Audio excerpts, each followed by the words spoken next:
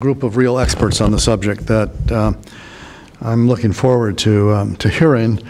Uh, this is part of an ongoing series that the Scholl Chair has done on advanced technologies in various forms. We did one on, on blockchain uh, earlier, we did one on 3D uh, printing, and this one is going to be related to advanced technologies in automobiles. This one in particular, I think, is, is going to uh, be important because autos and auto parts are such an important component of our international trade. They, and the industry is such an important part of our economy.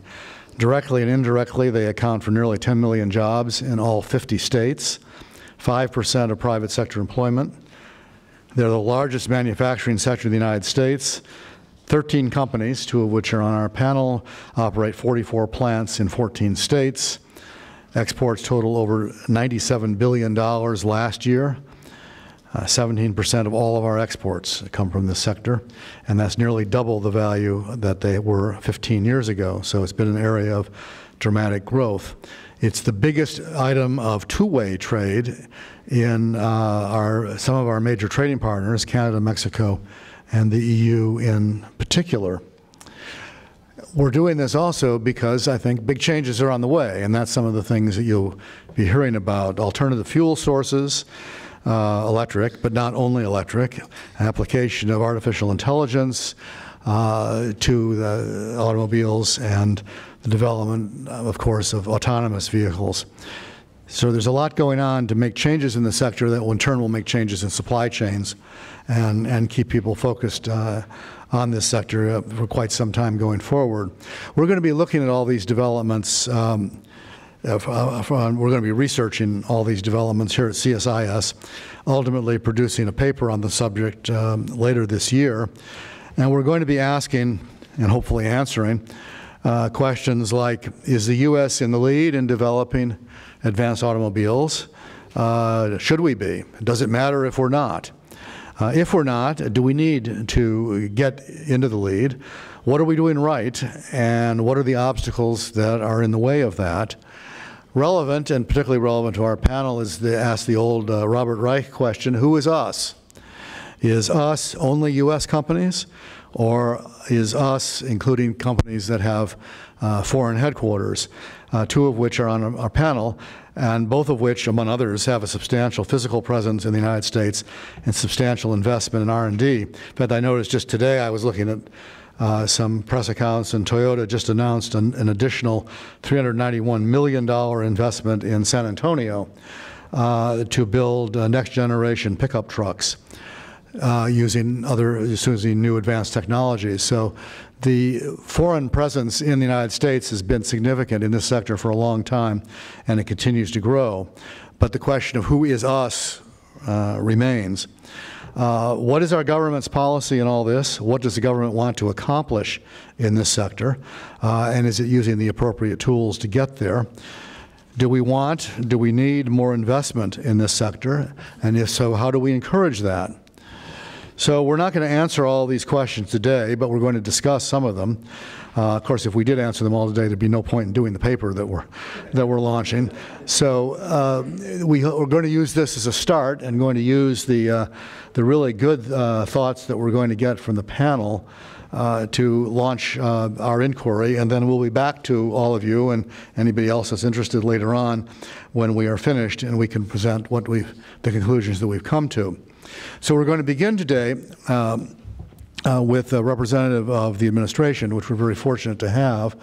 Uh, and uh, his name is Shajish Kurup, who is a transportation policy specialist at the U.S. DOT, uh, Office of the Undersecretary for Policy focused on emerging transportation technologies such as automation, connectivity, and cybersecurity, which is one I didn't mention. Sajish is also detailed to the White House Office of Science and Technology Policy as a policy analyst focused exclusively on surface on-road automated vehicles. So if there's anybody in the United States government that knows what they're doing and what's going on, it's he. And we're particularly glad that he was able to join us today. He's going to make some opening remarks, and then he's going to join the panel, uh, and we'll have kind of a conversation about it, after which we'll turn it over to you all for, for Q&A. The panel uh, is going to be moderated by Gabrielle Coppola, or is it Coppola? Coppola. Coppola, sorry, well, uh, I knew I was going to get something wrong. Uh, Gabi is a business and economics reporter living in Detroit. She currently covers the auto industry for Bloomberg News. She pre previously wrote about Israeli technology for Bloomberg, pursuing an interest in the intersection of technology, labor, and the future of work, all things that we've been working on here as well. As a foreign correspondent in Sao Paulo, Brazil, she followed the country's experiments with state-led capitalism. Before that, she covered the meltdown of U.S. credit markets in the 2008 financial crisis. Her work has appeared in Bloomberg Businessweek, Bloomberg Markets Magazine, CNN Money, and the Wall Street Journal. And we're delighted that Gabi was willing to join us to moderate the panel. So the way we're going to proceed is I'm going to go away. Well, I'm not going to go away. I'm going to go sit in the front row. Uh, is going to come up and uh, make some opening remarks, and then uh, he's going to be joined by the panel, and Gabi will start the conversation. So it's all yours. Thank you. Good afternoon, everybody. My name is Sujesh Kurup. I have the privilege of representing both the White House Office of Science and Technology Policy and the Department of Transportation. Today, I want to provide a high-level overview of some of the relevant surface automated vehicle initiatives the White House Office of Science and Technology Policy and the Department of Transportation has going on to prepare for the future of surface transportation. Additionally, I would also like to highlight some of the key reasons why the United States attracts so many AV innovators. In September 2017, the Department of Transportation released the Automated Driving Systems 2.0, a vision for safety. We call it ADS 2.0. ADS 2.0 provides voluntary guidance to the industry as well as technical assistance to um, technical assistance and best practices to states, and offers a path forward for safe testing and integration of ADS. ADS 2.0 focuses on guidance on SAE automation level 3 and above automated driving systems, makes clear the voluntary nature of the safety self-assessment. We call it VSSAs. It revises priority safety elements on the 12 aspects that are ready to implementation in the near term. ADS 2.0 also provides best practices for state legislations. ADS 2.0 encourages the public disclosure of VSSAs. So far, there's been 16 VSSAs published by ADS developers. In October 2018, uh, DOT released Preparing for the Future of Transportation Automated Vehicle 3.0. We call it AV 3.0. AV 3.0 introduces guiding principles for AV innovations and describes the department's comprehensive implementation strategies to address existing barriers to potential safety benefits and progress. AV 3.0 provides multimodal safety guidance from NHTSA, Federal Highway Administration, Federal Transit Administration, Federal Motor Carrier Administration, Federal Transit Administration, Federal Rail Administration, Maritime Administration, and uh, Pipeline and Hazardous Materials Safety Administration. AV 3.0 describes the illustrative framework of safety risk management stages to full commercial integration of automated vehicles. AV 3.0 clarifies policy and roles, such as it interprets the definition of a driver and operator to recognize that such terms do not exclusively refer to humans, but may also include automated systems. AV 3.0 urges states and, local, uh, states and localities to work to remove barriers, such as unnecessary and incompatible regulations, to automated vehicle technologies to support interoperability. AV 3.0 affirms US DOT's authorities to establish motor vehicle safety standards that allow innovative automated vehicle des designs and notes that such an approach may require a more fundamental revamping of NHTSA's approach to safety standards for application to automated vehicles. AV3, AV3.0 reaffirms USDOT's reliance on self-certification approach rather than type approval as a way to balance and promote safety and innovation. USDOT will continue to adv advance this approach with our international community. Additionally, AV 3.0 outlines how to work with DOT as automation technology evolves. The White House Office of Science and Technology Policy, under the leadership of United States Chief Technology Officer Michael Kratsios, is currently developing the federal strategy for automated vehicles.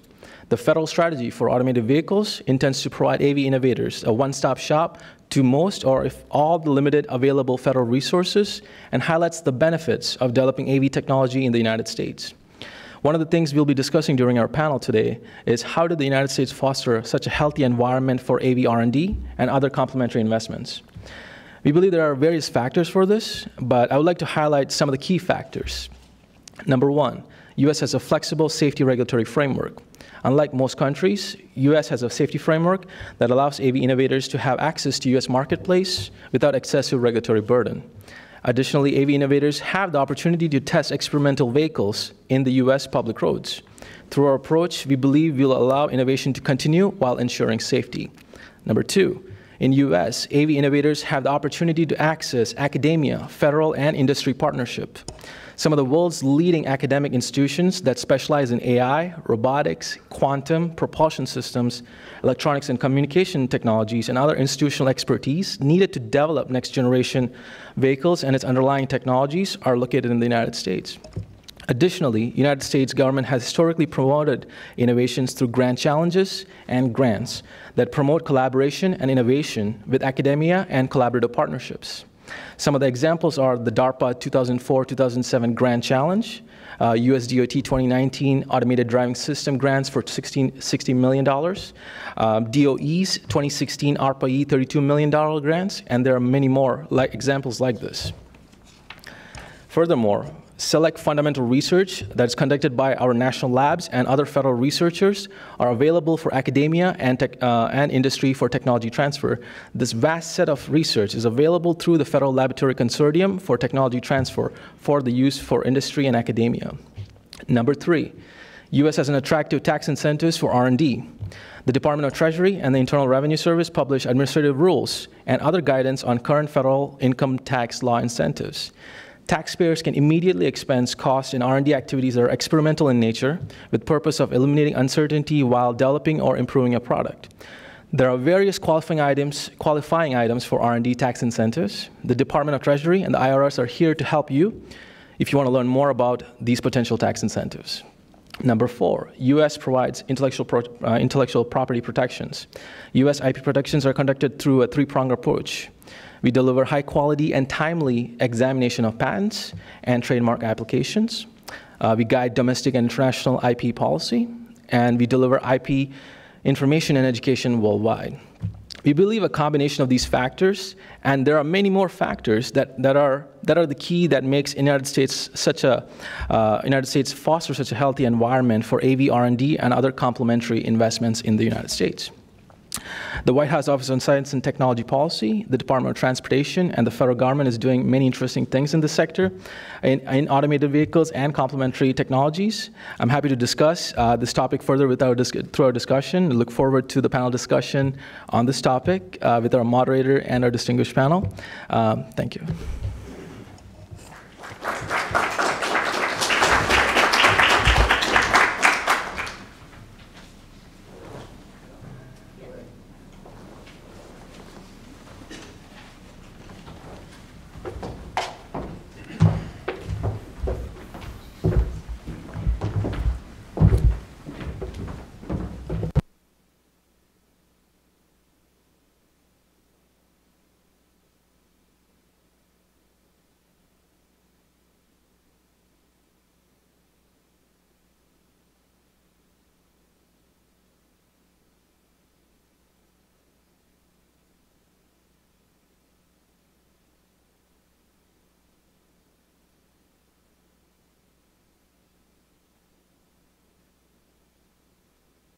Which is recognized as the world's top think tank for science and tech policy.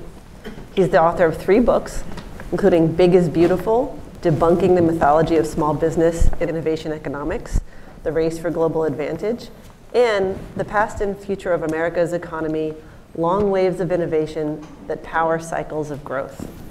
He's conducted groundbreaking research projects and authored hundreds of articles and reports on technology and innovation related topics ranging from tax policy to advanced manufacturing, productivity, and global competitiveness.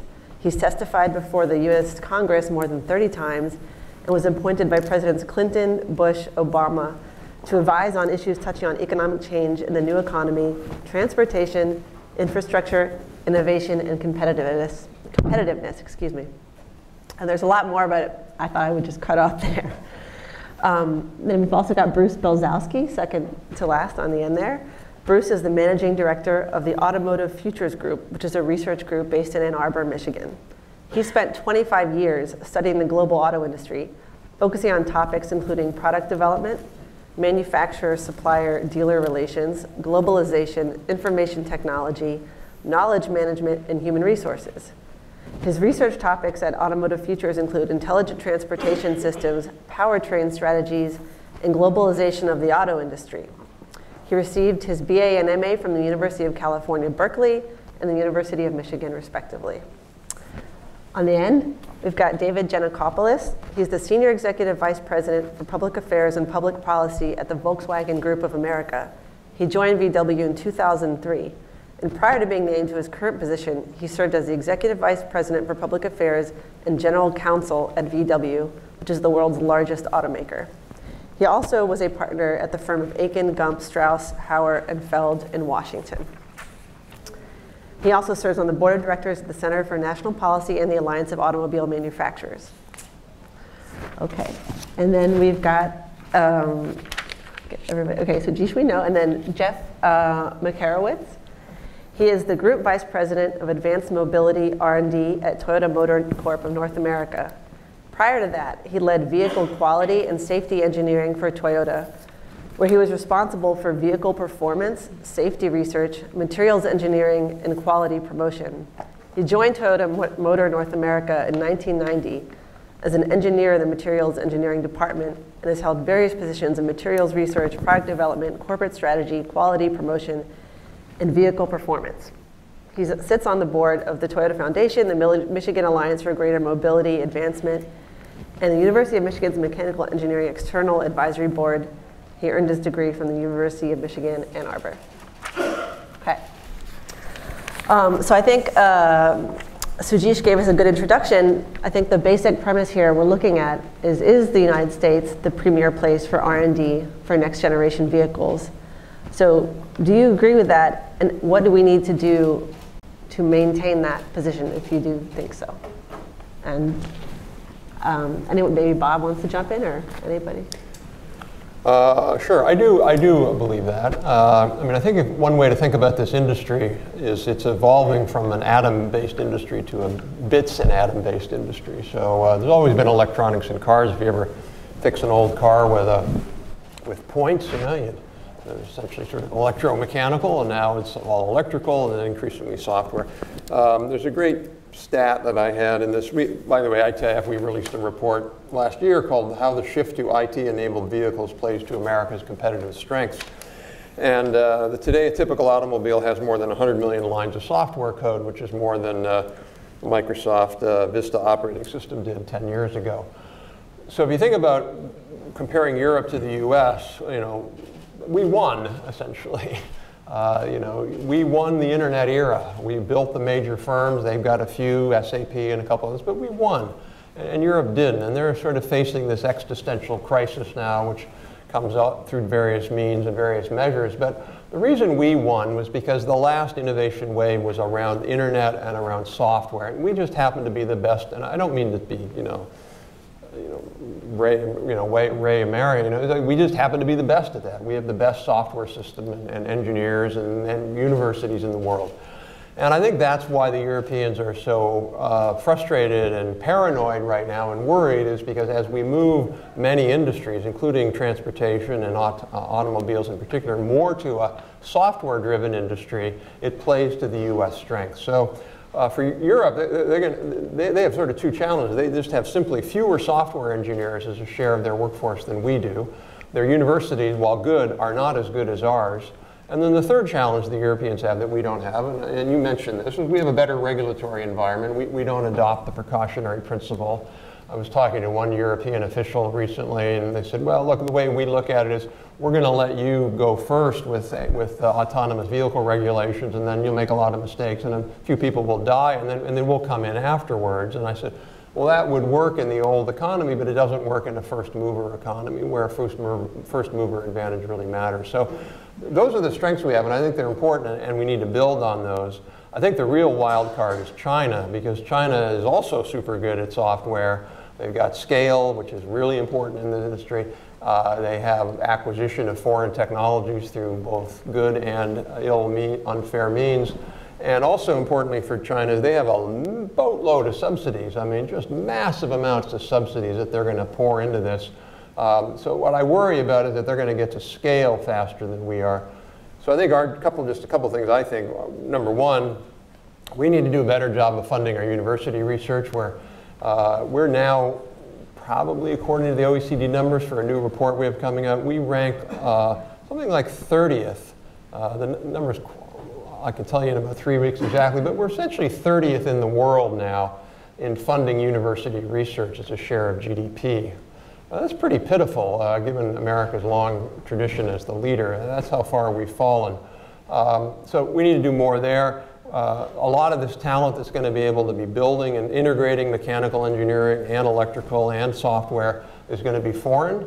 And so we have to do a better job of attracting and retaining and, and, and getting the best talent in the world. And then finally, we need the right regulatory system, which I give the Trump administration an enormous amount of credit for doing that through DOT.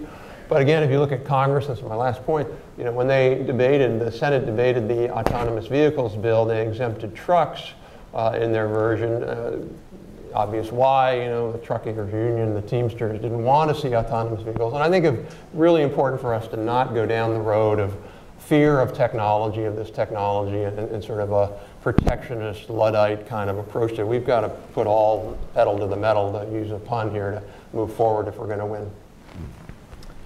Uh, thanks, Gabby. Uh, I agree with uh, the factors that Bob has stated about why the U.S. Uh, is the premier place for R&D in uh, autonomous vehicles. A couple of points that I would add are that uh, we have a tremendous interest from our venture capital community and therefore a lot of resources being invested here in the country. I think we have also the tremendous capacity of our industry. We've got every major car company in the world investing tens and hundreds of millions of dollars in research and development in this area in the United States. At Volkswagen, we have our engineering center in California that does work on robotics and autonomous vehicles, especially when it comes to adaptation of vehicles for disabled persons, looking toward the future for level five cars. And then we have this tremendous uh, coterie of uh, universities that Bob alluded to with University of Michigan, MIT, Stanford, where a lot of our talent in Silicon Valley has come from over the years, uh, Carnegie Mellon, and you can't overstate the University of Michigan. so uh, I think capacity is another big factor to go with investment. And uh, one last note to echo what Bob said on the regulatory environment. We have more freedom and flexibility in our regulatory framework, but we also have a need to really get it going. You know, we still have some confusion about the difference in the federal role and the state role in this area, um, some of which um, as a, as a uh, lawyer or a reformed lawyer, I would take a too deep dive on. But um, I think that's an important area for further progress to be made, and uh, we look forward to working with uh, the administration and all the agencies to, to keep moving that in the right direction. And, and, if I could just briefly add, so uh, without a doubt, the U.S. is still the premier uh, place to do research, which is why for the last 45 years, Toyota has been growing our R&D footprint here uh, with campuses in Ann Arbor, Michigan, Saline, Michigan, Mountain View, California, Torrance, California, Wittmann, Arizona. Later this week, we'll be announcing a new office we're opening in Pittsburgh. Um, in addition to core R&D, we've established the Toyota Research Institute with campuses on MIT and Stanford and the University of Michigan with a $1 billion uh, initial budget. We've established, and this is our global um, uh, organization responsible for our automated vehicles, machine learning, uh, AI, all of these factors. Uh, we've established our global hub for data management and data analytics in Plano, Texas, again, so that we could tap into the expertise. So I agree with the, uh, the, the, prior panelists in, in terms of some of the, the means and what's enabling this, but I'd also add, I think a lot has to do with the, the policy and the um, enablers allowing us to, to collaborate and, and really um, see, see value in the research in terms of advancing, uh, working with industry, working with uh, startup companies, uh, and having that ability to partnership is extremely important. Um, well, I think, you know, originally I think what Bob said was we're thinking about it at the sort of national level of US, Europe, China. But it's also clear that there are a lot of international partnerships happening, um, whether it's investment here in the US or um, just when I think about the auto industry as a whole, it seems that there's a real need to collaborate because the actual task of investing in automated vehicles is so massive that you know no one company can sort of take it on alone. So I, I guess I'm just wondering, um, what role is trade playing and, you know, trade relations playing in forging those alliances? Is it, you know, sort of um, What is training? trade, trade, just sort of, you know, the trade environment, things like that? Um, Or what are, maybe what are the conditions that are enabling that to happen? Or, you know, what, what's driving that in terms of forging those alliances? You know, doing the investment that you're doing or, So we've been, we've been following the, the alliances that have been going on and the research cooperation that's going on between the manufacturers, sometimes, usually with their suppliers, but also with each other. Uh, especially in AVs that we're, that we're looking at right now. We really see this as the uh, beginnings of the, uh, of, of the new technology. Uh, almost one could argue in its, in, in its infancy.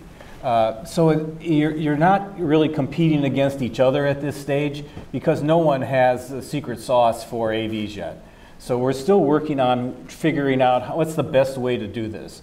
Uh, one of the points that, that Bob made I thought was really good in particular about it, the U.S. is that the, the focus is on, it can be at the state level. It doesn't have to be at necessarily at the federal level. And it really has opened things up for AV testing at the state level, whereas in many other countries, you actually have to get the buy-in from everything, everybody else in the country before you actually can do anything. Mm-hmm. okay. Yeah, and, and I will say certain states are better than other states. So, for example, in the state of Michigan, um, the government really reached out to partner with us. They established a committee, an advisory committee, where uh, industry could provide input into what's necessary to, to foster and, and incubate certain advanced and emerging technologies.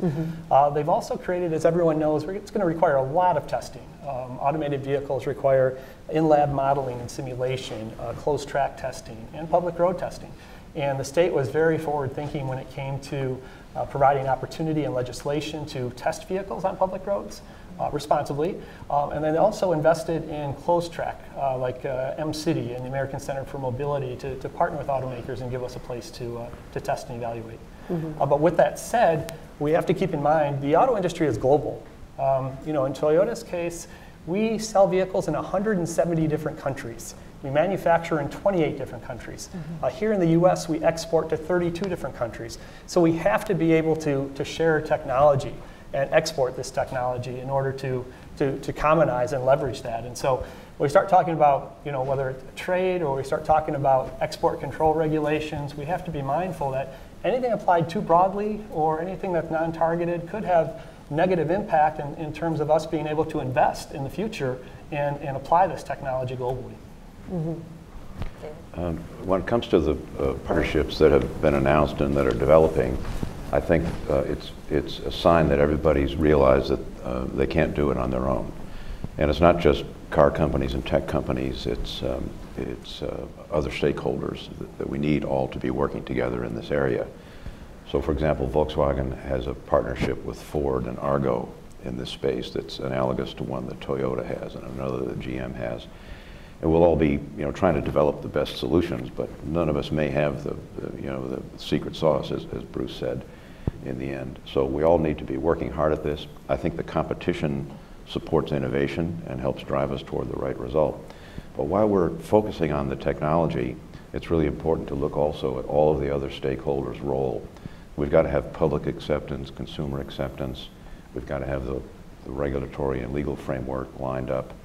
And we really have to make sure that uh, society is ready for this as well as we are with technology, plus the infrastructure side of things. So that's one, one among many reasons why with our colleagues at Toyota and the National Safety Council and others, we have been uh, promoting and supporting the uh, PAVE, the uh, Partnership for Autonomous Vehicle Education.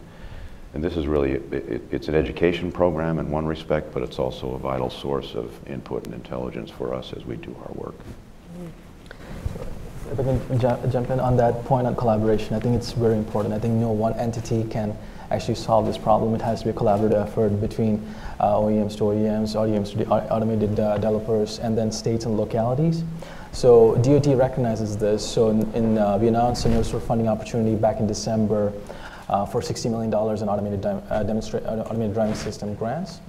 And one of the key requirements was collaboration, that you had to show that you were collaborating not just with another company to obtain the vehicle, but also with the state and local government so that you can learn from each other and kind of make that data public to show the best practices on how do you collaborate. Because there is no silver bullet to this answer just yet, but we have to learn through uh, grants and all these other programs to learn about how best to collaborate, what are the best practices.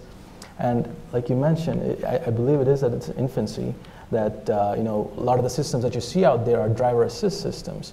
Uh, there's not a lot of self-driving cars out there that you can procure. They're all in R&D stages right now. So uh, you know premature regulations or overstepping that, it actually inhibits innovation. So we want to make sure we learn with industry and states and local governments on how best to collaborate and what is that right touch. So we're trying to balance that and making sure at the same time we ensure safety. Just quickly add also, I think the issue we should, we should make sure we think about this at, at a broad enough level. Uh, the issue of the technology is really autonomy. It's, it's not just cars. And so I think the U.S. should strive, strive for global leadership on autonomous systems. So and we're going to move towards, hopefully, uh, autonomous trains. DOT actually just removed, I think, an onerous regulation that would require two engineers or an engineer and a conductor in trains, which in theory you don't need if the technology is good enough. Ultimately, you go to one. There are trains in Australia with no drivers, essentially. Uh, but you know, things like mining vehicles, uh, uh think, uh, you know, forklifts in, in warehouses, uh, buses on camp, college campuses, a whole set of things that are going to be autonomous. And the technology is not like you're using just car autonomous systems. There's overlap. And I think we should be thinking that the more we can build that overall ecosystem in the U.S., the better off our car companies will be who, who are here. Okay. What is the, um, can any of you speak to sort of the power dynamic between tech companies and auto companies because there is a lot of, you know, there's Google, Waymo. Um, a lot of car companies have gone and acquired, you know, tech startups to kind of get that really high level technology. Um, that feels like a constant sort of push and pull as I cover the beat. So I'm just wondering how you see that, and I don't know what implications that has for our competitiveness as a country. But just what is the power dynamic like in these partnerships? I mean, I think Bruce said nobody has a secret sauce yet, but yeah, we really don't see the, this as being a, a, big challenge for the auto industry in terms of these companies wanting to take over the car companies. Uh, the margins they get on, on their companies are so much better than they, what, they, what they get in the, in the auto industry that it really doesn't behoove them to really say, oh, this is something I really want to invest in and increase all the headaches that and all the safety regulations and all the things that go into being auto manufacturers. It's, it's a tremendous challenge for, for anybody. And it, do, it doesn't, just doesn't seem like anything that would be of value to them in terms of, of overall. Of course, they'll provide the technology to support what you know the uh, autonomous vehicles or whatever other technology is, is that they're looking for. But uh, it's really not something that we really. I don't see the industry. We're kind of worried about them doing this. So, so I, know, I, was just out at the Uber uh, autonomous vehicle facility in San Francisco, which is pretty fascinating. They have a partnership with Volvo. Volvo builds the cars, and they put the, or maybe they collectively they put the autonomy into it. Uh, so I 100% agree. They're not going to they're not going to be banging metal, but um, you know I don't know. I mean, you, I, I, don't know enough to say, but you could imagine Google or you know Waymo or, or Uber developing some kinds of patented autonomy, you know proprietary systems that then they sell to everybody. Then they become automotive suppliers. Sure, but it, but it, the question is, you know, do you want to be IBM or do you want to be Microsoft back in, uh, mm. you know, whatever that, what was that, uh, early 1980s? Uh, you want to be Microsoft, and that's the question I think it's on the table. It, it is, can be, it yeah. can be, yeah. But there also has this issue of this metal bending is not is not simple. Oh, absolutely, totally. You know, when you I have, totally agree. They're not going to do it. You have 30,000 30, components that go into a vehicle fewer probably if you go to electric, uh, but then you've got autonomy coming in with new new technology. Uh, uh, it's not something for the for the faint of heart, that's for sure. That also, I'm sorry, I'm just quick. That is another reason why we're doing so well. We have both our auto companies and our tech companies playing in this space, which is a really important. A- absolutely, part. and I think the advantage that the auto companies have is, you know, years and years of experience of how to integrate this technology mm-hmm. and deploy it in a safe manner. You know, software crashes, you just reboot. A car crashes, it's a big issue. So different mentality when it comes to, to the deployment of strategy. But I think what will be interesting is how the software is used and whose mm-hmm. software is used moving yeah. forward. Will it come from a tech company or will it come from the OEM? Mm-hmm. Or would it be a combination, kind of a, a, joint venture or collaborative effort? So I think sure. that's still to play out. Yeah. I agree with this, Jeff. We, we have a, a big internal investment in software uh, development in our company worldwide, and we've decoupled it from the product development process because those cycles are uh, so much different in their pace. Uh, at the same time, you know, we need the agility of these external partners that we have, and they need us. So I think to answer your question again, Gabi, the, uh, the balance is actually pretty close. Uh, you know, we need each other. Uh, in some cases, they're very large companies making partnerships with smaller companies that need the uh, support in order to, to develop and, and continue. And in our case, you know, although we develop our internal capacities, we also need to gain knowledge and, uh, and input from them. So it's, it's, it's quite balanced. And, uh, you know, when you see the announcements, everybody's up there on stage together. It's not uh, a quiet acquisition. It's, uh, you know, it, it's a win for both sides. Mm-hmm. Okay. Um, we're all talking about self-driving software here, but of course, I think the other kind of term that always goes along with this trend is electrification and electric cars. Um, so, uh, you know, this is obviously, um, we're in the midst of a big sort of national debate about um, what our electrification strategy is. And I'm wondering, you know, it, we, I think it's clear that we are a hub of R&D for the automotive sector and tech and all those things. Does it matter, uh, you know, when it comes to what we require in terms of EVs and things like that? Are we at risk of ceding our leadership if we're not, you know, pushing EVs harder? So from, from an R&D perspective, when, when Toyota defines uh, electrification, we look at anything that runs on electrons. So plug-in hybrid, um, a battery electric hybrid, could be hydrogen fuel cell, um, or a conventional hybrid. And uh, we, are very proud of our, our, leadership role. I think if, as you look at electrification, we've sold more electrified vehicles than the rest of the industry combined. Um, but the point I want to make is it's easy to conflate the difference between kind of market uptake and uh, R&D. You know, from our perspective, it takes the same amount of R&D to sell 1,000 vehicles as it does to sell 100,000 vehicles. So I think what really, and the reason I bring this up is, you know, every region is going to be a little bit different, but the R&D, we're all global companies, the R&D has to be done. Mm-hmm. So our philosophy is to bring the right vehicle to the right place at the right time. So when the U.S. is ready and the market is, is, is pushing for, for electrification, more electrification beyond conventional hybrids, we'll be ready and have product in, in the pipeline. Mm-hmm. We're making a big bet on electrification at Volkswagen, and uh, between now and 2023, we'll have invested over 50 billion in electrification and advanced mobility. And uh, as a part of that, we announced in, in January at the Detroit Auto Show that we're investing 800 million in our factory in Chattanooga in order to build a new line of electric cars there. And uh, so we're, we're, we're uh, certainly uh, uh anticipating that there will be increasing demand for EVs, and uh, we want to help promote that. So we're also making investments in infrastructure. Uh, this, this all has to come along side by side, as, as, as Jeff makes clear.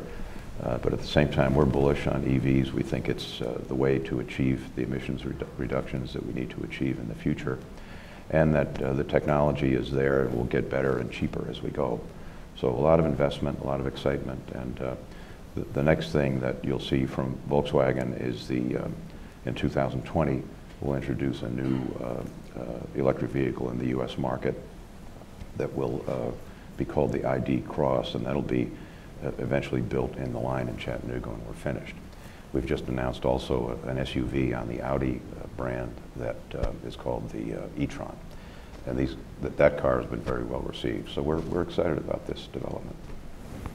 Abby, Gabby, when it comes to the, uh, the EV, though, it's especially from a U.S. perspective, uh, you, you, uh, you can get worried about the battery story. Because when you look at there's R&D, of course, being done on, on batteries, but really the, the major battery makers in, in the U.S. come from Korea, and they come from Japan, and they come from China. Uh, and now Tesla is beginning to start doing their own batteries, but that, they're really in early stages of this. Uh, in, in some ways, we've al almost already ceded in, in this, I guess you would call it the infancy stage of electric vehicles. Uh, we've kind of ceded that, that uh, uh, that R&D and that capability uh, to foreign countries at this point. It's really something I think that, that the industry is, obviously industry is very aware of this. Uh, but it's something that I'm not sure that, that the government is, a- is, a- is aware of. I, I would just add to that. I mean, if you think about sort of looking at history, competitive shifts either in an industry or between regions or nations uh, more often occur when you have big technology shifts. Uh, it's not like you know, if you're in a particular technology like internal combustion engines, these things are gradual shifts. When you go from one to another, that's where you can get disruptive shifts. And I look at this industry, I 100% agree with you. We, we've missed the battery boat. Um, you look at what the Chinese are doing. They have, they have a battery institute, an R&D battery institute. That's their two big battery companies are cooperating with a, with a bunch of universities. And then right next to it is a massively subsidized, I mean, massively government subsidized battery factory. And then on top of that, you know, I, I- I would be sort of happy to believe that if it was sort of markets driving things, that, you know, somebody would win, you might win, you might win, you know, GM might win. Uh, but but I, I, when you don't have the markets driving it, which is not what's going on in, China, the markets are not driving this. The government has a thumb or driving, and they're turning the wheel super strong and saying, we are going to, you're going to, if you want to drive in China and you're driving an EV, the benefits you get are vast. Uh, you know, there's, there's some cities where you can't even drive, and you can't even get a license for your car unless it's an EV because there's too many cars there. So if you buy an EV, that's the way you get a driver's, that's the way you get a, a license plate. Plates, yeah. Uh, they give big tax incentives, although they were cutting back on that. But still, they're going to build a lot of EVs. The question is, can they build any cars that are any good? I mean, Chinese cars historically have not been very good. But, you know, neither were Koreans uh, 20 years ago. Korean cars were terrible, and now they're world class. They're near it. So I don't think we should underestimate the Chinese building up the capabilities of their auto industry, but focus solely on EVs. And then if you do that, your point was you spend 10, 20 million or 50 million on R&D, whether it's 100 vehicles or a million vehicles, it's better to do it with a million vehicles. So they can amortize all that R&D on a much bigger fleet than we can. And so I worry if we're if we start getting too far behind them, then you know maybe they just have a good lead that's hard to beat. Yeah. So the markets that where EV acceptance is high and demand is increasing, obviously they have through economies of scale an opportunity to uh, to improve their costs more readily, and that could become a competitive advantage in pricing. Not to mention a lot of the raw materials are coming from China, which is which is another issue entirely. I think we have to think also about the next generation of battery technology, and we have a partnership and an investment in QuantumScape looking at solid-state batteries, and that may change some of these factors.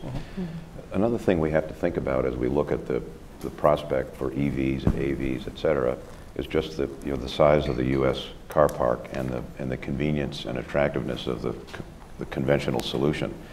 Uh, you know, the fleet turns over slowly. Average age of cars is about 12 years in the United States. And even if we uh, switch immediately to selling 100% AVs and uh, EVs, uh, it would take uh, then 12 years to, let's say, replace the fleet.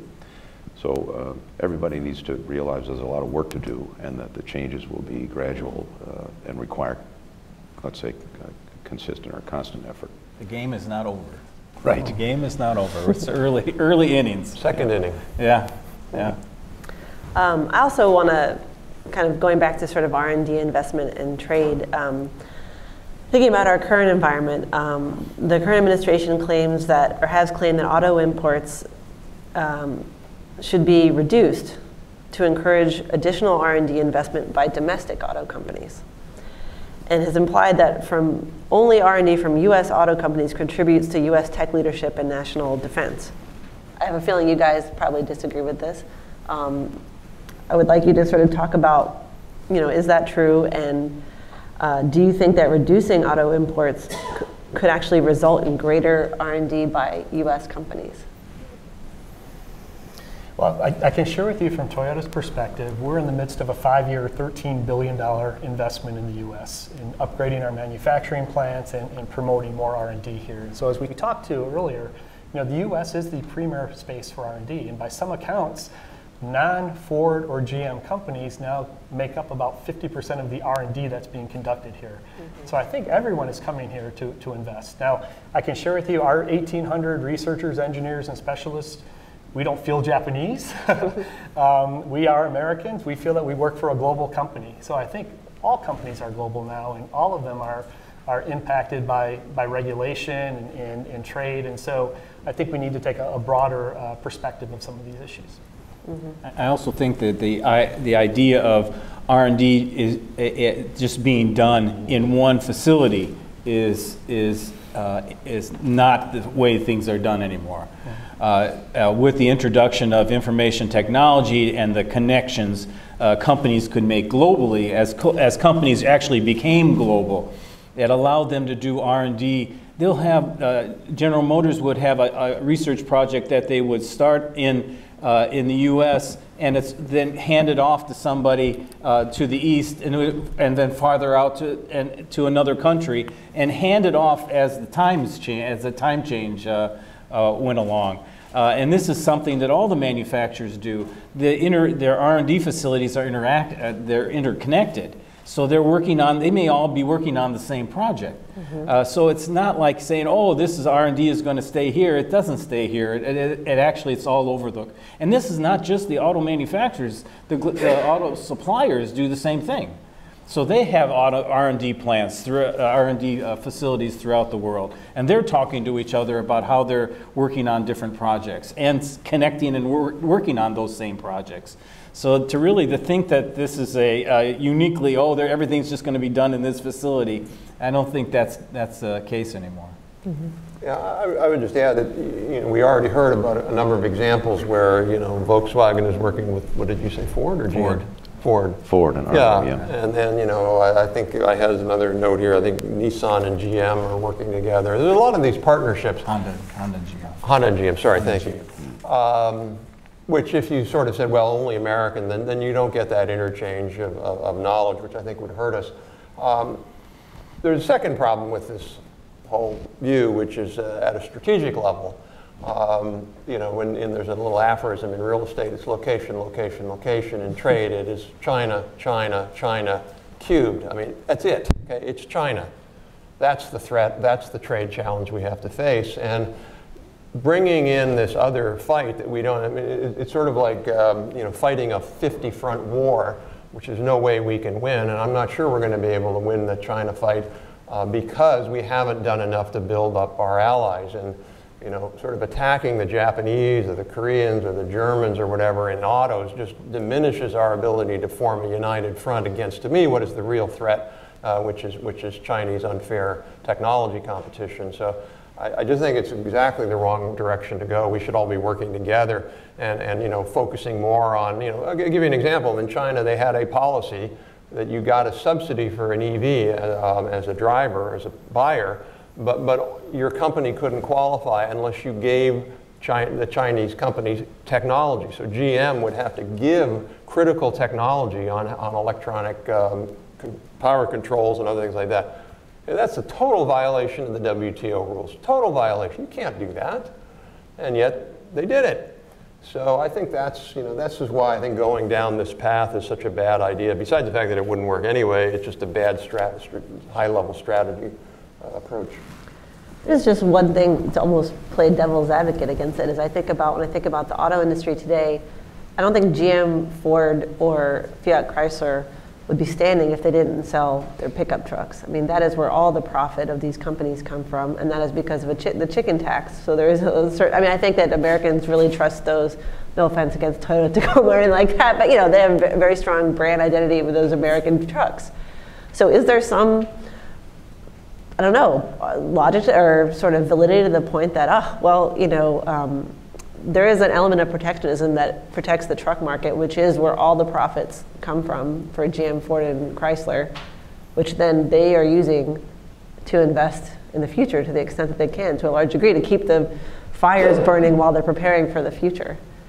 So, So again, the point I want to emphasize is, you know, Section 232 and the tariffs will impact all car companies, uh, regardless of where the vehicles are made.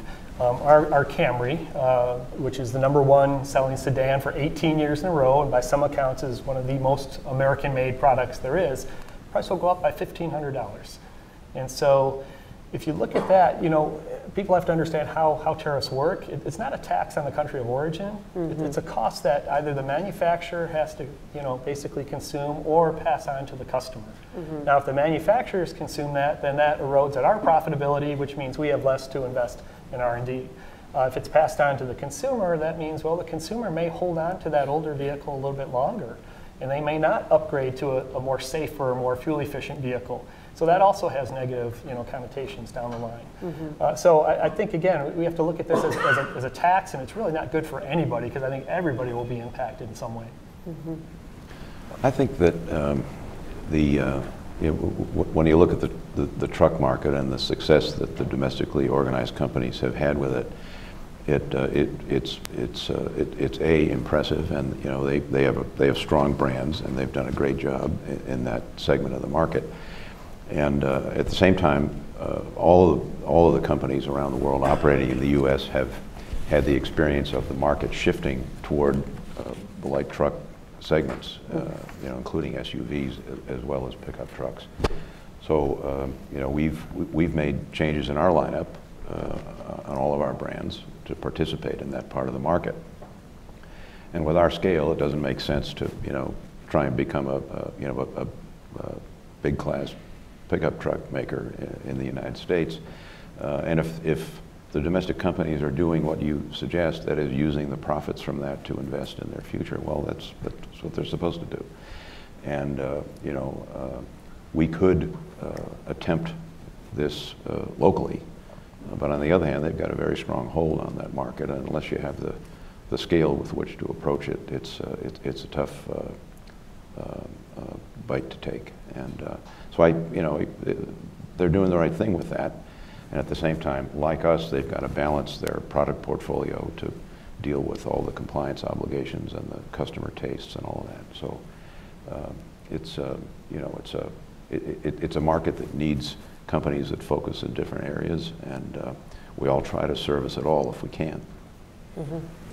But So- it doesn't mean that they can't do it, because you look at Toyota with a, with their smaller pickup, they're the leaders in that, in that area. And So- SUVs. So this is, so this was a, a, a, a company that really said, okay, we're going to try to do battle with, with the big three on this story. And, and now in terms of full-size pickups, I don't think they're close. Mm-hmm. But in the, the mid-size pickups, they're the leaders. Mm-hmm. So they found a niche, it, they worked it, and, and, and it has been successful for them. Mm-hmm. Nissan, not so much. Uh, they've, they've tried it as well, and haven't been as successful. But it's kind of like if you don't try, you'll never know. And, uh, you, it, well, then you start looking at what the U.S. companies are doing, where you have Ford saying, we're not really going to do pass cars anymore. You know, we're going to be a, a crossover SUV pickup truck company, which is a, a big, big disappointment in some ways because you go, God, this was, this was, this is, you're giving up a segment. You're actually giving up it in, in small cars and mid-sized cars uh, in an area where they actually had some success, but they really didn't feel like they could make as much profit uh, as they could with their with the other vehicles. And uh, in the long run, will could they transfer? Could they move back if they wanted to? They're capable of doing it. It'll take them three to five years to do that. They're more than capable of doing it. So what are, what do you think, I mean, we may have covered this a bit already, but just to really focus on the point, I mean, what could the US do then to increase this R&D investment to make sure that we, if China is our big threat when it comes to, you know, AVs, electrification, we've talked about all the conditions that are really positive here.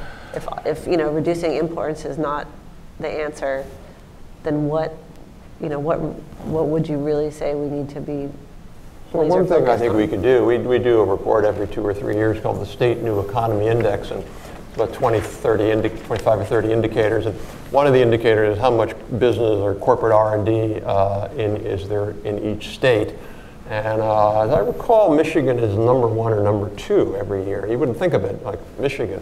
They're actually, it's because of what you're doing and what you're doing in GM, and it is a super high R&D state.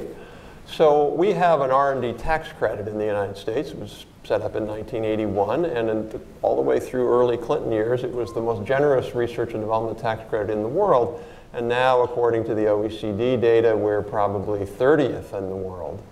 Uh, to get our credit to be in the top two or three countries in the world, we'd have to triple it. Uh, in fact, the last tax reform bill, which is, you know, generally did some good things, it weakened our R&D credit uh, if it doesn't get renewed in five years, whatever. So one thing we could simply do, Congress could say, instead of having a 14% alternative simplified credit for R&D, we go to 20% or 25%. That's one thing. Second thing is uh, a lot of countries have these industry university cooperative research center programs uh, where the government kicks in some money. Uh, we could do that in a bunch of areas that are super important. We have one in Michigan now called for lightweight materials that uh, I believe DOE is funded through the Manufacturing USA Institute. There's no reason we couldn't be funding four or five of those related to this specialized area. Get the car companies, both foreign and domestic, to commit time, money, and resources. Put it at places like Ann Arbor or you know Michigan State or whatever. Uh, those are things we can do. We just have to have the political will decide that we want to win enough to make those prioritizations in our budget. And from an R&D perspective, um, I think it would be helpful if we had regulation clarity and consistency. So I know our, our friends in the White House have been doing a lot to create guidelines, uh, but what we really need is a clear pathway for deployment and commercialization. Um, this includes, you know, changing some of the, the, the, safety requirements that need to be updated to allow for kind of mass commercialization of some of these technologies. Uh, so we'd support some type of federal bill along those lines. And this would also support with the consistency side. Um, right now, under the current guidelines, state by state, they can create their own policy and their own rules, which is certainly going to negatively impact and slow down deployment. Uh, so again, we'd support some, some clarity and consistency, you know, with mm -hmm. a, a clear pathway for deployment. And are you all optimistic that we'll see that soon? I mean, I, I think they tried last year. Um, and I just want to throw out a fact, too, as we think about this. Um, I was reading about China's autonomous vehicle industry, and we're kind of trying to figure out where they really do stand, you know, as they're prepared for this. And the government has a goal that 10% of new vehicles will be on 10% uh, of new vehicles will be autonomous by 2030. That's what their, you know, that's what their target is. So, where do you think the U.S. will be at that point? And side note, are you optimistic that we will reach that kind of across the board federal level regulatory framework that will allow us to keep moving forward to compete with that? So, so uh, long, I think for, um, permanent framework will take some time, but uh, again, a bill is something that could be done quickly and I think more readily. But you know, looking at China, I think it really depends on how they're defining automated vehicle? Is it level two or level three? I mean, that, that could be in the near future. Certainly level four in certain geofenced areas uh, is probably realistic. Level five, I don't think so much. Mm -hmm. um, like I said, there's a big difference between ready and almost ready, and, and uh, it's, it's, that last mile that you need to really focus on. Mm -hmm. uh, so again, I really think it depends on how they're defining autonomous. I think that uh, to some extent, you know, a, a, quickly resolved and perfect regulatory framework would help us. But there are a lot of other limiting factors that will control the pace of the introduction of the technology. And so uh, this thing that we were discussing earlier about the need for engagement of all the stakeholders and acceptance and understanding of the technology, uh, therefore creating demand for the technology, will influence the pace as much as the regulatory framework. And I think the most important thing is that everybody wants to do it right and we don't need to have a, you know, a, a, a, hard and fast deadline to achieve a certain percentage. We need to have goals, and we need to keep moving. Mm-hmm. And we need to make sure that when the benefits are ready to be made available to, to, the public, that the public gets the benefits of this technology. But I think we all want to be careful and do it right because it's complex, and uh, there are a lot of ins and outs still to be discovered and managed. So I, I think the, the idea of a hard and fast uh, time frame uh, is, is one that we need to, let's say, build rather than state at this point. Mm -hmm. I, I, I, think he made the really good point earlier about the how long it takes to turn over the fleet. When you think about how long it takes to, uh, when you have 280 million vehicles on the road, Mm -hmm. and how quickly we did some research on this and, and he made the point of well if you had every every vehicle sold this year was going to be electric vehicle, it would take maybe 12 years. But that's not the case. And so if you think you're, and that's probably never going to be the case. Uh, so if you talk, talk about a gradual increase, you're talking about the turnover being 50 years, like decades, decades. I probably won't see it. You know, that's how long it's going to take before you have either all autonomous vehicles or all electric vehicles on the road. It's going to take a really long time. Uh, just because, and in, during that time, it's going to be this combination of people who are driving regular cars, internal combustion cars, or non autonomous vehicles. And this is going to be a challenge of how do you manage the transition. And it's going to be a slow transition because it has to be, be built on consumer acceptance. They're the ones who are going to have to say, I want these vehicles. And if, they, if they're not buying them at the, at the numbers that you expect, it takes even longer to make the changes. But then you, on the roads, you're going to have these, these difficulties. We have a, uh, a driverless shuttle at, at the U of M, and it drives around in a parking lot. And it drives so slowly that people drive around it, including myself. I did it just the other day. It was driving like five miles an hour. I mean, I don't drive five miles an hour, and it's just driving. It's driving really slowly. And then this other thing that's happened, and I, it came out at a conference that we had last week, where we had the person, the people who are at Mcity who are running the, the shuttle, and they said in the parking lot when people see the uh, driverless shuttle come to a stop sign, they know it's going to stop. The people on the other side who have a stop sign, they run the stop sign. Interesting. And they just keep going because they know it's going to stop. And so this was, I, I, I didn't, I, it didn't, it never hit me that this was how big a challenge this was going to be. exacerbate human behavior. And look what happens when it get on the road that way. And people see it, oh, that's autonomous vehicle. That, was, that, that car's going to automatically stop. I'm going to run this way. I uh, I, I think a lot of this debate really misses the major. Everybody's like level five, man. Wait till we get to level five. You know, we did a study a few years ago for the Milken Institute uh, magazine, and we looked at the benefits of if we could get to sort of 3.75, you know, whatever you want to call that, or what it looks like, uh, and to get to 90% penetration, which we said would be by 2040, uh, a trillion dollars a year annual savings and benefits in the U.S. economy.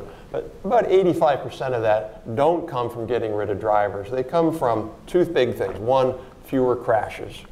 You think about the biggest job impact of autonomous vehicles, it's not going to be taxi drivers, it's going to be auto body repair shops. That's where the jobs are going to lose. I just, some guy backed into, we parked, my wife was parked, and he, he you know, ran into her like seven, seven miles an hour, but he broke the back. We had to take it in, you know, 1200 bucks, whatever, insurance covered. You're not going to have those anymore. And you don't need, au- you don't need. Two million vehicles, two million accidents a year. Yeah, you don't need level five. So you get all those savings, you get all the medical savings of, of hospitals or rehab, all of that. And then the other big saving you have is with level 3.75 or 4, you can drive much more closely on the freeway. So you can really dramatically improve throughput on 495 or 66 or whatever hmm. coming in in the morning. And so the congestion reduction in the US from getting there. But again, you don't need to be able to have a car where you can fall asleep in the back seat and say, take me to work to get. That'd be nice to get there. But we shouldn't lose sight of that. We're going to get a lot of benefits just by moving a little bit better. I mean, I, I ride my bike to work and not to, anyway, uh, last year I was riding in front of the White House, near the White House, and, and an Uber driver comes around and hits me. Uh, you know, totally his fault. Total clueless guy. I mean, it can happen anytime. I get it. Uh, but you know, a level three and a half, 3.7, it would have put the brakes on. I would not have been hit.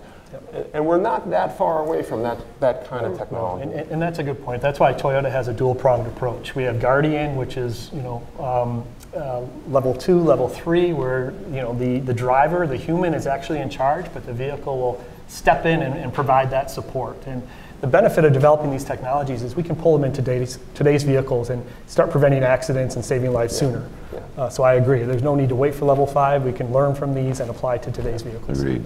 Yeah. And I think that's what the, the White House was talking about in terms of the ADAS policies. These are really just advanced safety technologies that are going to be part of autonomous vehicles and therefore de- deve- developing them and getting them into vehicles will have be a, a very positive step. So on, on the topic of uh, setting targets on an arbitrary date, our general take is that you know, federal government's role should be to set an environment or develop an environment where innovations can thrive, and while ensuring safety.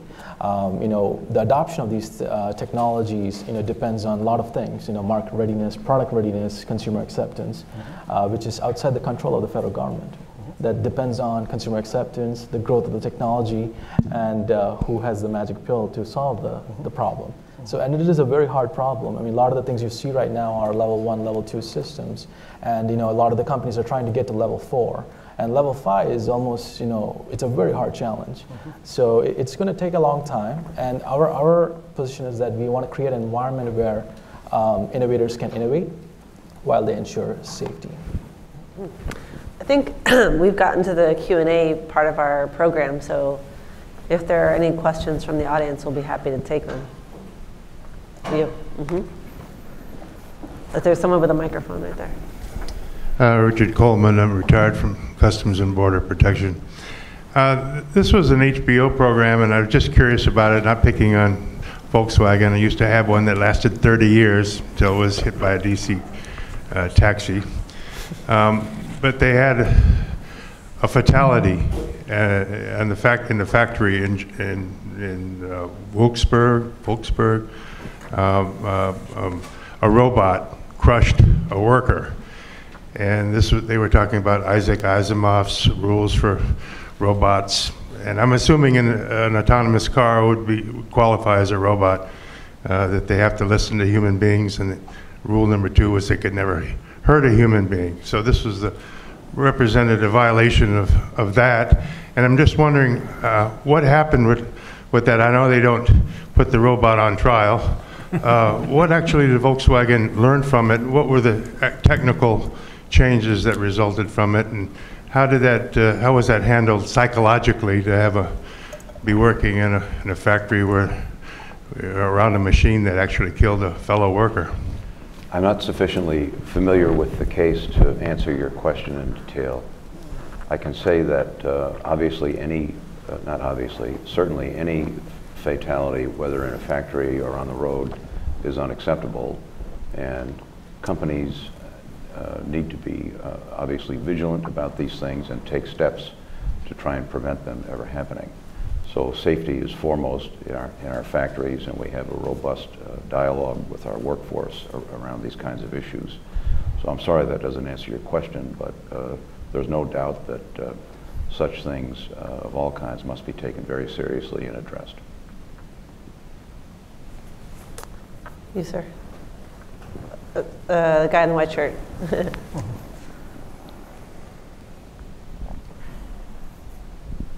Uh, Thank you. I'm Dave Rabinowitz. I'm retired. Uh, The average American car today spends at least 95% of its time just sitting. And in a place like this area here, the people who own it are spending a fortune, just, in many cases, just for the ground that it's sitting on. Uh, car is a very expensive uh, piece of equipment to leave sitting around a lot. And it's getting to the point where uh, millennium, millennials are not even bothering to get a driver's license because it's cheaper to take an Uber than to pay for parking. And when Uber becomes autonomous, it's going to become that much cheaper. And my question is, is there really going to be a mass market for personal cars in the future? Well, that's a very good question because it's, it's an, uh, a, premise that we were looking at in terms of a, a, a book that we're looking at writing. We have researchers in, in Europe and in, and in China and in the US and talking about what happens if, what would society be like if all vehicles were autonomous and shared? And so, meaning that you're no, there was no ownership. You were just the things would just pick you up. You would you would have an app, or gosh knows, I mean, who knows when that's going. I mean, we're looking at you know 50 years, you know, something like this. You and I won't see it, right? so, but it, it, it's interesting to think about how society would be affected by this. You know, would it mean, eh, obviously there'd be fewer accidents. People would not be running into each other. Would there be more congestion or less congestion? Uh, but if people were sharing rides versus individual, if every person's in one vehicle, all of a sudden now you're just talking about people driving one vehicle around, right? It's just one vehicle. Uh, just because there's only that ownership, somebody would own that vehicle. It would be a, an Uber type, or maybe General Motors would own it, you know. Uh, but it's a very interesting uh, uh strategy and way of thinking about what the future might, like, might, might be. I think one of the mistakes people make in that scenario is they think, oh, you know, GM, Volkswagen, Toyota is not going to be a market anymore because, you know, instead of having one car, 10 cars, you'll have one car. Think about why somebody gets rid of an old car. Uh, I got rid of my old Toyota And the reason I did was my son was learning how to drive, and I wanted a car that had better airbags. I mean, it was like, you know, 15 years old. It worked for me. I hardly ever drive. So I had to upgrade. So people will still upgrade. That's number one. Number two is uh, people will do it because there's body damage or, you know, there's just, just the thing wears out just because of age. So that won't change. Um, I mean, that, that, that, that will be, but the main reason people get rid of cars is because of mechanical wear and tear. And so if you have a car that's being driven 14 hours a day, it's not going to last very long. I mean, it's not going to last 20 years. It might last five years because the engine, all the drivetrain, you know, those things are as good as Toyota and Volkswagen, all these cars are. In the old days, you know, if you, if you got 100,000 on a car, you'd be super happy. But you don't get a million. I mean, maybe you do on a couple. We, we did. We have a Tundra. we have a Tundra with a million miles. It's torn apart. Very so- few. At some point, you know, you just, so I, I don't think we're going to be in a world where the car companies aren't making lots and lots of cars. I would say, um, if I could just add one note, we're actually experimenting with these kinds of new ownership models ourselves. So at, at Audi, we've got a, a program called Audi Select where you can essentially buy a subscription to a car and the car can be used by others while you're not using it. So um, we don't want to discourage people from running out and buying and owning a car and keeping it. But on the other hand, uh, we need to be familiar with these new modes in the future. And of course, geography makes a big difference, cities, country, et cetera. So all this has to evolve and we, we'll adapt to it. You had a question in the front. One, so kind of the elephant in the room with all of these, uh, oh, sorry. Hey, so kind of the elephant in the room with all of these, this whole discussion is the impact on the labor force and the broader economy. Um, in the like the, the DOT report 3.0, there was literally a line on it like we advise states to retrain uh, transportation workers in high skill industries. And I mean, someone here commented that I mean, it's not just driving, it's not just a driver, it's the entire warehouses, it's all of the logistics end of it. Once it's automated, it's going to be gas stations and ba- basically the entire, I mean, industrial machinery. Is the industry really thinking about political vulnerabilities here? Um, and where could those come from? If they take over like a state called like Utah, could they, did, could a legislature in Utah make it impossible to drive the I-80 or the I-15? Um, or county, or like where is the industry thinking about this, and where could they come from? And secondly, insure uh, like liability and insurance. Uh, where is the industry and regulations, um, and looking forward toward these sorts of things? Thank you. So on the workforce component, um, so DOT is doing a report with the Department of Labor, Commerce, and HHS on this topic, on workforce impacts uh, to drivers who uh, drive for a living. Um, so the report is uh, going to be published sometime in the near future, but uh, we are collaborating with these two, uh, four agencies, uh, three other agencies to look at various scenarios of future business models and uh, different use cases and kind of looking at the economic models on how that impacts the drivers itself. So we are doing a research project on that particular topic because it is, it is a topic of concern. And uh, Toyota is part of an organization called the Michigan Alliance for Greater Mobility Advancement, which is a consortia of the state of Michigan, uh, local universities and community colleges, as well as uh, industry, uh, General Motors, Ford, Fiat Chrysler, Toyota, and Nissan. And we're looking at the emerging technologies and what impact that will have on jobs, what new jobs will be created, what jobs could be displaced, and more importantly, what type of training do the community colleges and universities need to start providing uh, to prepare uh, future workforce uh, for these emerging trends. Um, additionally, I think as we start looking at some of these technologies, um, you know, we're already starting to adopt these technologies. You know, our manufacturing plants, we're applying um, big data. We, we, we have radio um, frequency modules on all of our, our key equipment that we're collecting data 24 7 so we can understand what equipment's going out of control and, and prevent significant downtime. Um, we're deploying machine learning. We have uh, visual recognition systems that check badging and wheels and, and uh, lamps to make sure that they're great. And, and in position. And, and, if there's a shadow or a vibration, these systems are triggered and they go offline, so they have to be rebooted. But now we're teaching them to learn on their own so they can differentiate between shadows and vibrations. So all of these technologies are already being deployed in the manufacturing process. And what we're learning through that is it takes a different skill set. Instead of the worker physically doing, now the worker needs to physically maintain or troubleshoot uh, some of these equipment. So it is going to be a transition, and I think we're working now with you know our suppliers, with our, our workers, um, and with industry to, to define you know wh- where is this all headed. In our company, the workforce is a key partner in the governance of the company, and uh, for us, uh, the, the responsibility is to make sure that the company is successful. And at the same time, as the business evolves, we've got to uh, make available and drive the kind of training uh, that uh, uh, uh, Jeff has referred to in order to make sure that our workforce is ready for all the changes that come. So it's a, it's a question of, let's say, addressing the needs of all the stakeholders, most importantly, including the workforce going forward. Uh, gentleman against the left wall back there.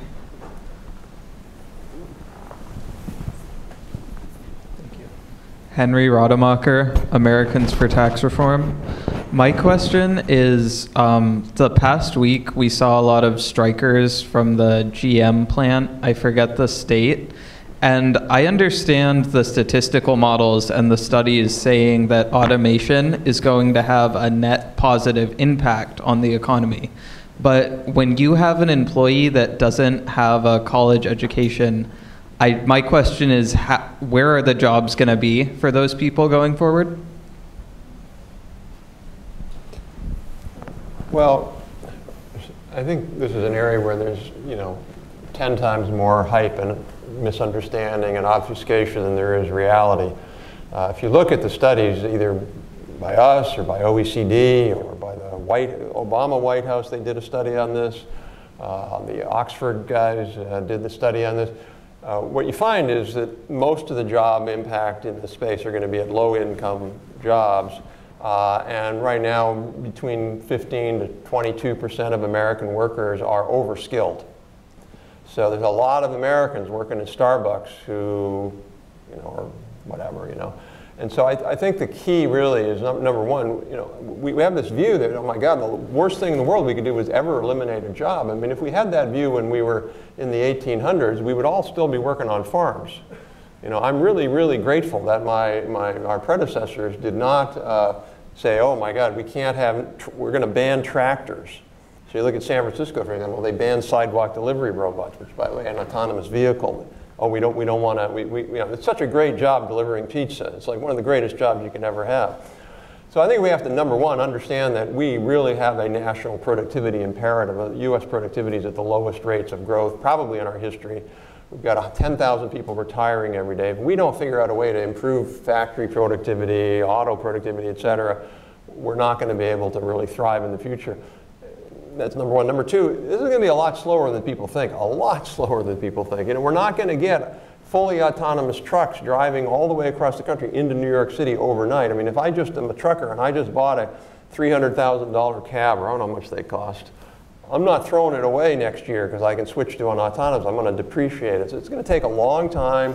It'll phase in, and we, we, we're not going to have to have a, I think, this cataclysmic job loss. It's going to be gradual.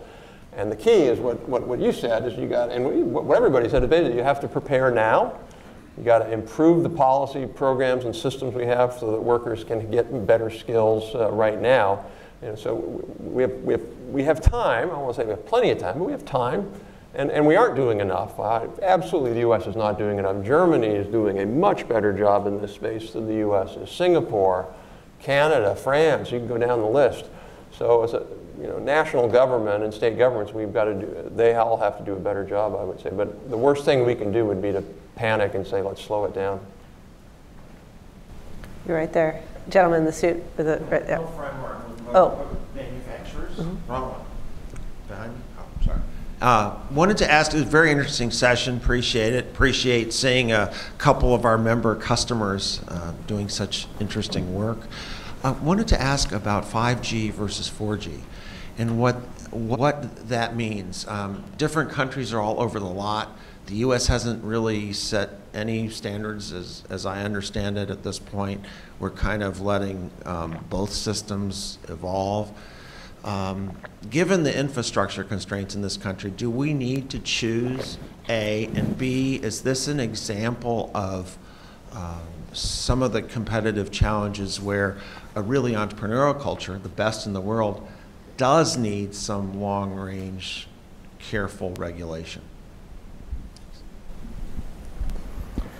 So, you know, we are a big proponent of DSRC because it's a proven and tested technology, and we've been deploying it in Japan, and, and you know, we'd like to, to deploy it here. Like I said, mainly because it's proven.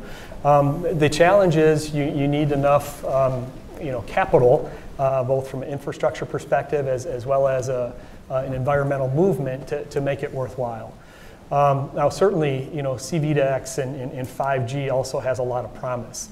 Um, but whether or not, you know, how soon that will be ready, uh, we're not sure. You know, but the goal is how, how can we make these technologies interchangeable um, and aligned so that you don't have to, you're not forced to pick one way or another.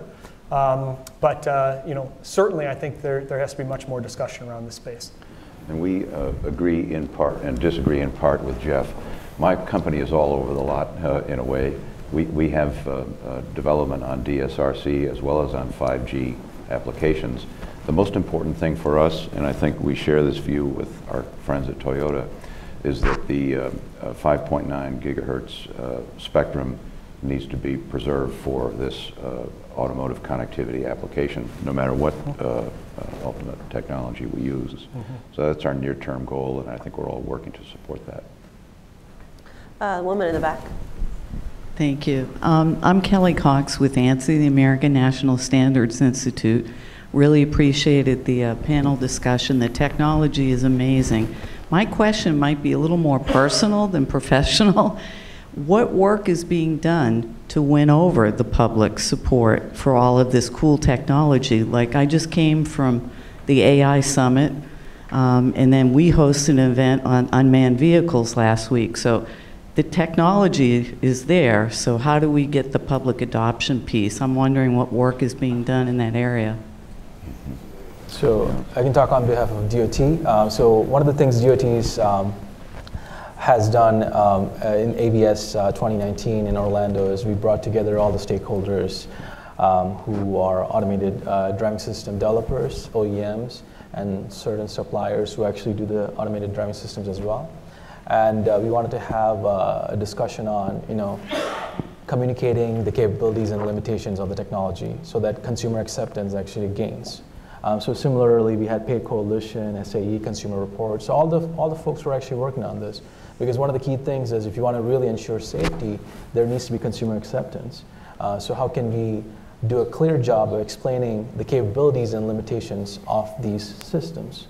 So we are actively uh, looking at how to go forward on public education side, but we're working very closely with PAVE and AAA um, and SAE and other organizations like that to make sure uh, you know, the, the public understands the capabilities and limitations of uh, automation technologies. Okay. um, Serta, do you have one still or no? Oh, okay. Yes, ma'am? I wanted to follow up his question about, oh. Um, I wanted to follow up the question on um, uh, preparation. For instance, we're having a big debate about uh, how much per hour a person will make. And um, we're very, we're emphasizing technology a great deal and STEM classes. Um, how will our current, say, high school uh, students going into college face the future in technology, assembly lines, what you are suggesting, um, will they see it as a good career or lower class, lower income, blue collar, and I want something bigger and better? How are you going to approach that image? At, at our, um, uh, we, we agree this is an important challenge because we need to attract people into the manufacturing sector in the future.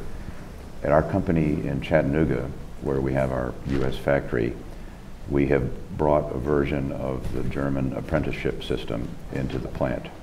And we have partnerships with the local high schools supported by the uh, state community college system that actually has a, an apprentice program in the plant where high school students work some of the time and attend classes some of the time. And they learn about future technologies like electric vehicles, working around batteries and electric cars. And the manufacturing environment is a high-tech environment. They're essentially you know, managing machines and managing computers as well as manipulating parts in the cars. So it is a high-tech, uh, desirable, uh, uh, let's say attractive kind of occupation that not enough people know about, uh, but they also need training for. So we're trying to tackle those things together. And frankly, I think that that sort of model has worked well, and there are others. But we have a need, and uh, as, as we continue to grow our business in the U.S., we have to continue also to support programs that invest in the workforce. And I, I just want to add real quickly, um, you're absolutely right. I think the brand image of the auto industry really took a hit during the 2009 recession and, and, and some of the bankruptcies and such. And so we have a lot of work to do to, to kind of change the, the, the brand image of the auto industry. And we're doing very similar. We have something called the Advanced Manufacturing Technician, which is now part of, of FAME, a large organization that's going nationally where I mean, we start recruiting students in, in middle school to, to come and visit the plants with their teachers and their parents uh, to see what a career in manufacturing really looks like. And, and very similar, um, they go off to a community college uh, for a two-year degree. Um, it's a kind of work school share. They work Monday, Wednesday, Friday. They go to school Tuesdays and Thursdays. It, it's an amazing curriculum that we put them through. Every semester that they advance, they get a pay raise. So by the time they graduate, they're ready to engage as, as a you know, manufacturing uh, skilled trades uh, member. Uh, but it's really a fantastic program. I, I encourage you to, to, to Google it or look it up or see me afterwards. I'd be happy to talk more about that with you. Okay, I think, oh, yes, Phil. This is an opportunity for commercial, which I can't resist. The Scholl Chair just issued a paper in July on... We just issued a paper in July on exactly that question. So if you're interested in worker training in advanced manufacturing, go to our website and you can see it. Uh, equally important, on October 4th, we're going to be putting out another one on how to better match workers and job seekers, I mean employers and job seekers, and how to make sure that we get right skilling to address partly the question that, that you were asking. What do we do about people who are having trouble finding the jobs because their skills don't match the jobs that are available, or at least they think they don't? Uh, and that's going to be a very interesting report that'll probably be enlightening as well. Are there more questions? Because if not, there is more question. One more. Um, I'm just very interested in the international context here, especially with the emerging rivalry with China that seems to be not going away anytime soon, and the standards that are being developed over there, and our fear of their uh, expropriation of our 5G technologies, maybe, or you know, they're ba basically advanced. And I want to see, uh, you know, when we had the former rivalry with the Soviet Union, we had them producing Ladas and Skodas out of Czech Republic. Uh, do you see um, that kind of thing evolving, that kind of, you know, they they have an industry and we have one, and which one's going to be on top?